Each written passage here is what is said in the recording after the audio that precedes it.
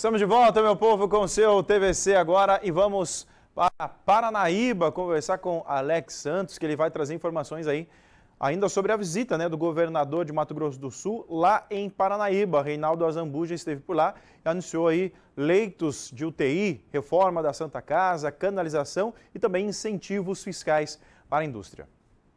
Olá, bom dia, Rude. Bom dia a você que acompanha o TVC agora. O governador Reinaldo Azambuja esteve ontem aqui em Paranaíba, onde entregou, autorizou e anunciou diversas obras, incluindo a reforma do Hospital Santa Casa, no valor de 7 milhões e meio de reais, e a abertura de mais 10 leitos de UTI o governo do estado entregou quase um milhão de reais de recursos próprios em equipamentos e materiais permanentes, como ventiladores pulmonares e respiratórios de UTI e monitores para a Santa Casa e está aplicando mais de um milhão e oitocentos mil reais para a construção de um bloco de 735 metros quadrados para abrigar mais 10 leitos.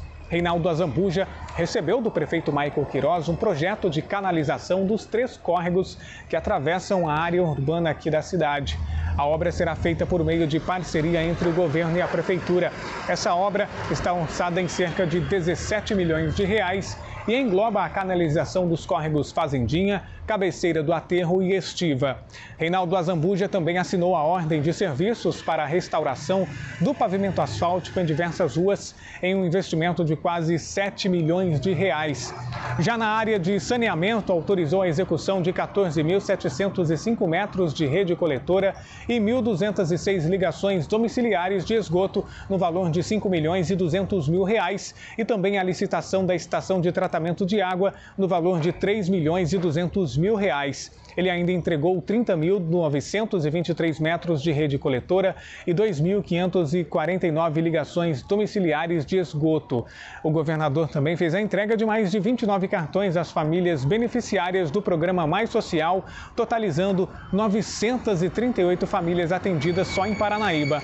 E, por fim, concedeu também incentivos fiscais para o frigorífico Golden Max, que foi reativado no ano passado com o apoio do governo do estado.